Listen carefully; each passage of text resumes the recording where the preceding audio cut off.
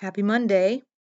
It's my first work day in December, which is weird because it's already the 4th, but it was just kind of like how things fell this year, I guess. Typically, after November, um, which is a writing challenge month for me, I take the next day off. So I always take off December 1st.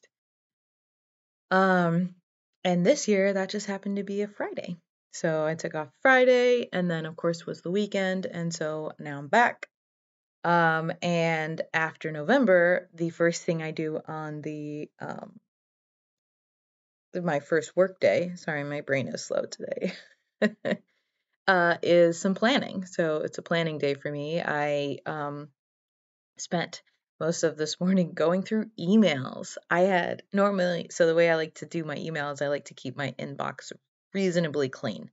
So I kind of like it use it like a to-do list. Um, so it's like, oh, I'm keeping this email here because I have a thing to do. I have to download a thing. I have to respond to a person. I have to sign a contract. I have to pay this person, right?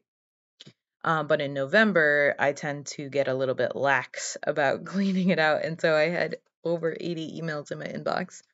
So I got them down. I got it down to 30, which is pretty good. Um, and most of them will be pretty quick to deal with. I just kind of have to I have to go back and actually do stuff.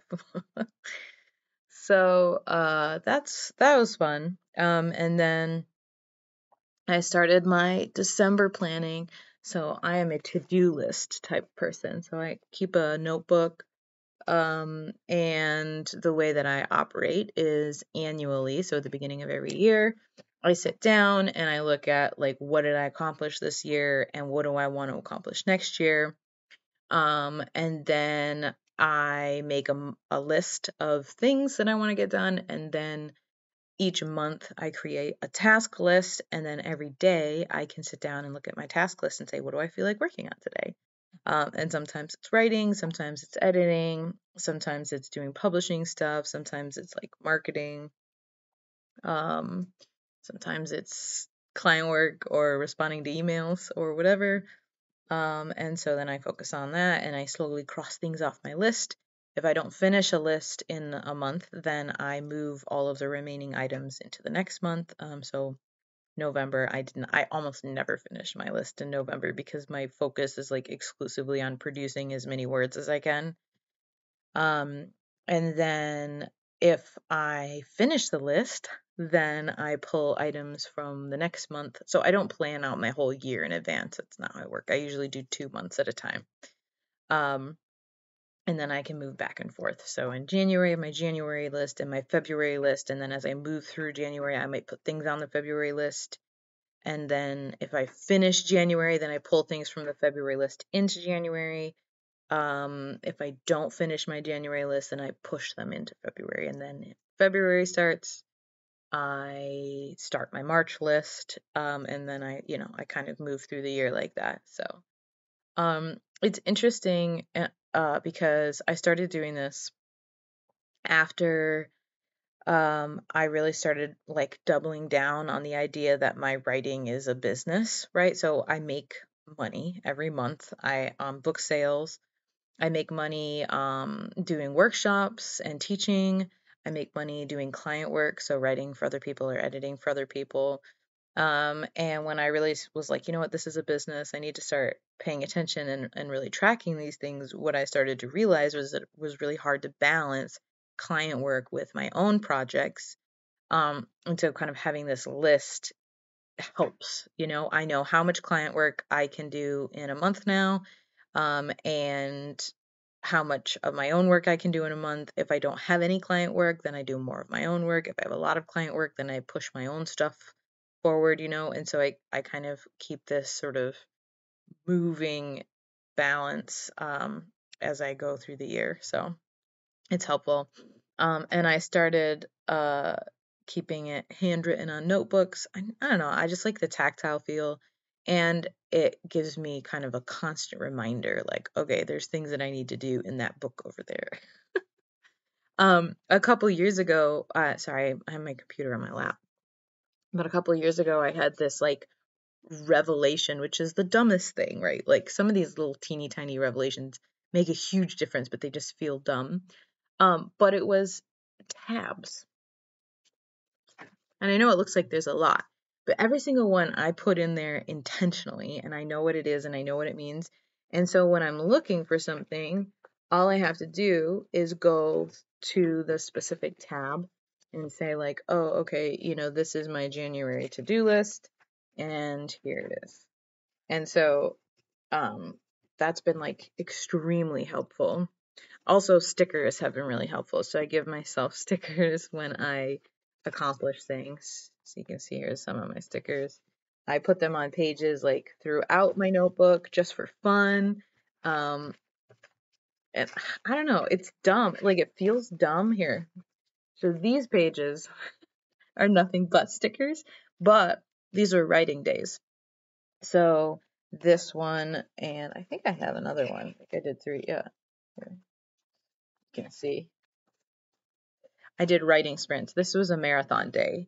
Um, and my only goal was to do as many sprints as possible. So every time I completed a sprint, I got a sticker.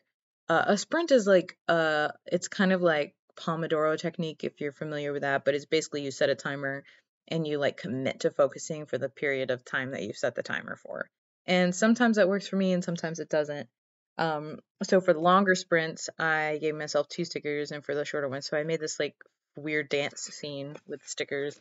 And then this is is it was supposed to be like a sci-fi sort of world with like weird plants and uh you know flying jellyfish. Oh, bug.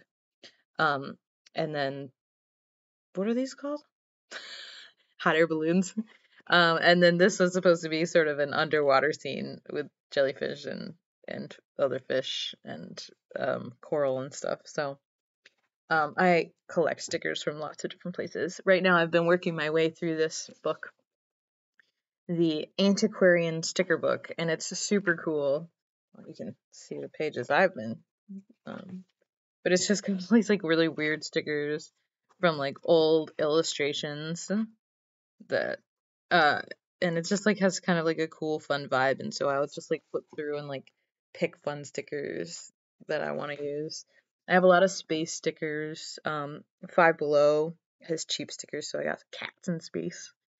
Um, so I use a combination of this notebook and stickers. Um, and I have a new notebook every year. So this one actually I didn't fill this year, which I did last year, but I kind of half started in on a new notebook partway through the year for some um like story ideas. I put everything in this notebook. It's not just task lists. So this is like you can see like town locations for the fantasy series that I'm working on.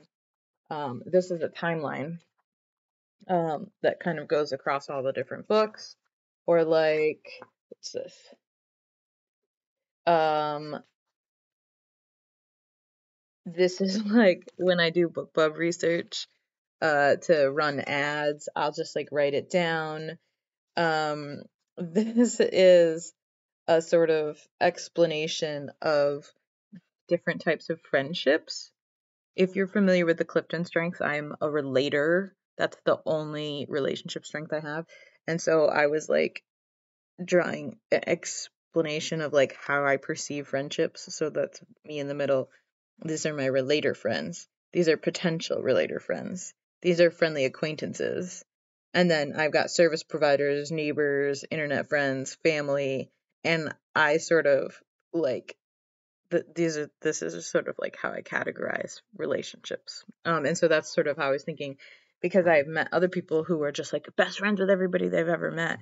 Um, and that's just not how it works for me. Like it takes me a while to like get to know somebody and to build a relationship and most people just stay in sort of this external category and if they disappeared from my life I might notice but it wouldn't like be significant like it wouldn't be like a huge impact for me Whereas another person, if I disappear from their life, they if they perceive me as being closer to them than I perceive anyway.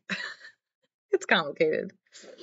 Um so yeah, I like literally will put anything I'm thinking about in this. I'll take notes from like workshops. Obviously I have my little sticker pages. This. This is fun. Yeah, Baby Yoda. How can you go wrong with that? Um, So usually I fill it up all the way, but I kind of half cheated this year. So, oh look, notes from a phone call with my doctor's office, notes from clients. I can't show you that because that's confidential. Uh oh yeah, this is fun. Where does the rest of